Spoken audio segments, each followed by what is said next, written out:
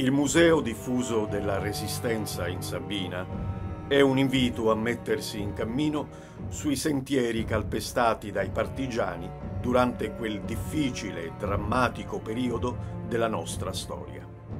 Il percorso, della lunghezza di circa 10 km e ben segnalato dalle frecce direzionali, rappresenta un'esperienza unica alla scoperta dello splendido scenario dei Monti Sabini da vivere lentamente, passo dopo passo, a piedi o in bici.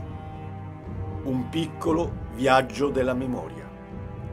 Tappa di questo cammino è l'Arcucciola, zona centrale del Monte Tancia, dove avvenne l'ultimo atto della lunga battaglia del 7 aprile 1944.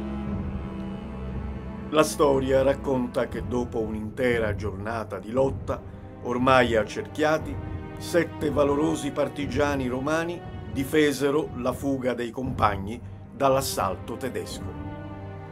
Rimasero così a presidiare l'Arcucciola, fino al sopraggiungere del buio.